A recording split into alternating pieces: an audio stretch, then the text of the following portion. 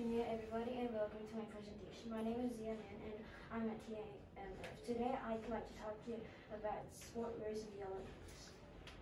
I've divided my presentation into four main parts. First of all, I'll talk about common sports costumes. Second, we'll look at five famous Olympic games. And third, talk about Greek uniforms and those five famous Olympic games. And finally, I'll give you a quiz.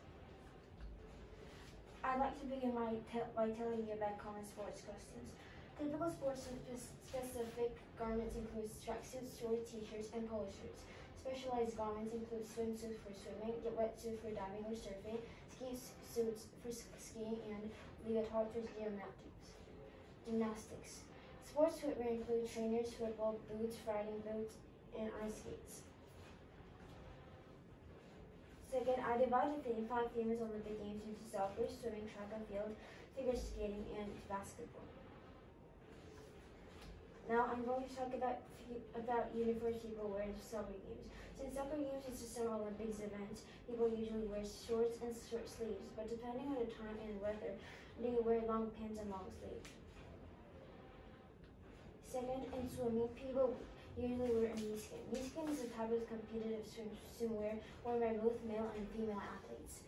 These skins are normally made by technologically advanced lycra-based fabrics designed to hold the body tightly and provide increased speed and decreased drag resistance in the water. Third is track and field. Most track, most track events are held outdoors, often in hot weather. So these con these conditions make comfortable, lightweight uniforms a must for athletes to, to, to help wick away sweat and prevent the athlete the athlete from of overheating. The most basic track outfit includes lightweight shorts and sleeveless jersey. Fourth, in figure skating, the ISU dress code dictates that figure skaters have to cover their hips, midriffs, and behinds. Also, the rules that ice skaters have to have 50% of their body covered was repealed in 2004, and skaters were allowed to wear unitards, tights, or pants if they chose. Lastly, in basketball, and in, in, the, in the NBA, basketball shorts must fall at least one inch above the knee, and t-shirts cannot be worn under the, under the jersey. However, they are permitted in American college basketball. Some NBA and WNBA teams have allowed sponsors' logos to appear on their uniforms. And before we finish, I'd, give, I'd like to give you a quiz. First, what do swimmers usually wear?